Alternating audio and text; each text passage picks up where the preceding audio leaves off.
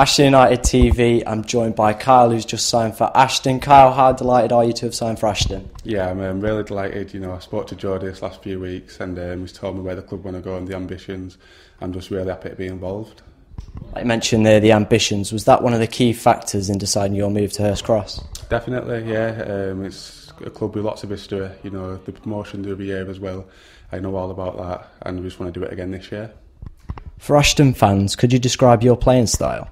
So, you know, I'm energetic, like to get forward, and I'm an hard worker. What would you say your aims are for this season?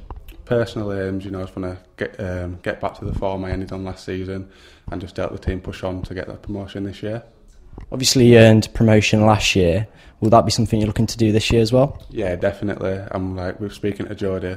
We've got the team to do that, so fingers crossed we all can put together and do it. Finally, do you have a message for the Ashton fans? just um, I look forward to meeting you all and I'll be working very hard with the team to get the main goal, which is get up. Okay, thank you, Carl.